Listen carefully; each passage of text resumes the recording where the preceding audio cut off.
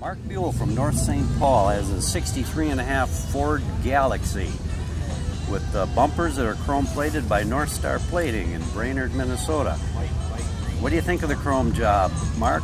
I'm very happy with it. Excellent. How long ago were they plated? Uh, I'm thinking about 10 years ago.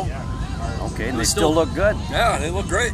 You going to continue to work on your uh, Ford Galaxie? Yes, I am. Completely restored? Yeah. I got to finish one other project before I tear this one apart. well, it's a nice car. The 63 and a half is a good collector's car. Thank you. Bumpers look great. I'm glad you're happy with the work. Got the uh, lifetime warranty against any rusting on it. So thanks for bringing it into North Star Plating. Yeah, thank you.